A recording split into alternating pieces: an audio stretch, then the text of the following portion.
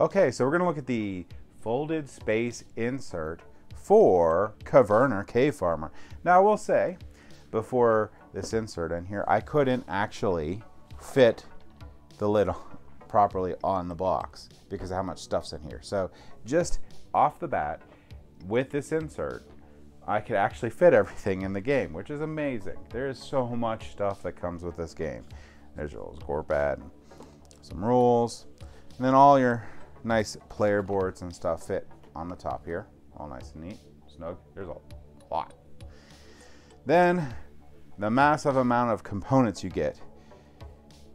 You know, obviously, because it's Uwe Rosenberg game, you're going to get lots, lots, of, lots of resources and different types. So these trays are really nice.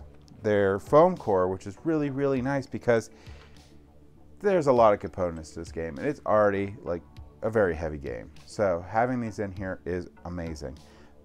Um, and as you can see, everything fits in here nice and neatly. Uh, the cards for the game fit in sleeved, which is really nice. And this is the first set of trays. All your player uh, discs and parts are here. So, and yes, you could play up to seven players with Caverna. It's crazy.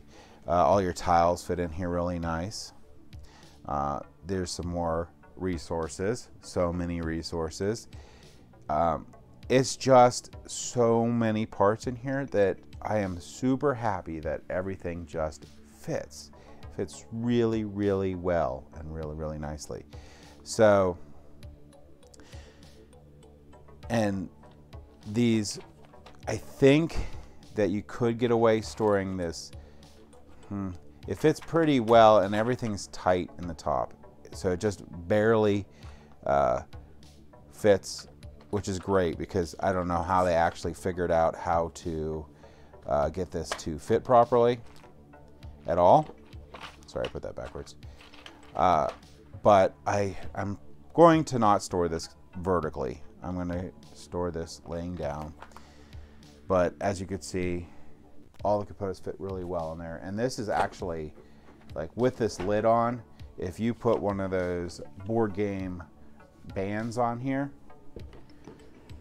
you could probably have this vertical and not worry about any of the components uh, falling out. I, would, I would I would say that would be a definite with this. So that was the Caverna insert. Like I said, the most, the best thing in here is they figured out how to get all the parts in this box. So I could actually put it away properly.